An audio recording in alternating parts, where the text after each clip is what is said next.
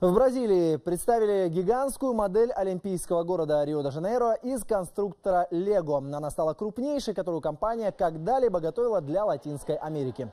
На ней работали 50 мастеров. В модели использовано почти 1 миллион деталей. Город из конструктора включает в себя 25 символов летних игр и достопримечательностей Рио.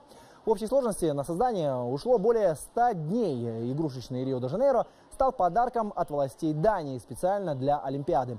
По завершении игр модель отправят э, в городской музей.